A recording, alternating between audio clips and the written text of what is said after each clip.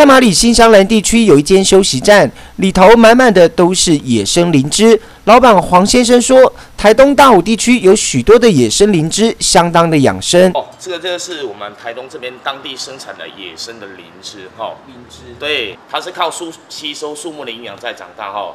所以说你看到下面就没有这根脚。但是光卖灵芝不够，老板又想出了用灵芝来泡茶叶蛋，而没想到得到许多客人的良好评价，就一直卖到现在。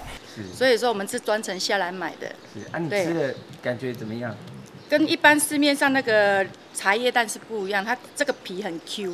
灵芝我知道这是养生保健呐，养生保健它在我们历史记载已经很多，但是我也有在网络上看过，是我们台东这边产区才有这种野生灵芝。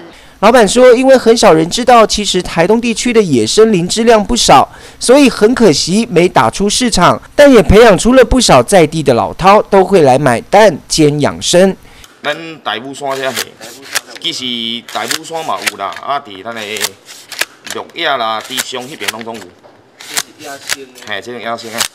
一般市场上的茶叶蛋大多以茶叶为主要的食材，而这位黄老板运用了目前台东在地的野生灵芝来泡茶叶蛋，开发副产品，相当的具有创意。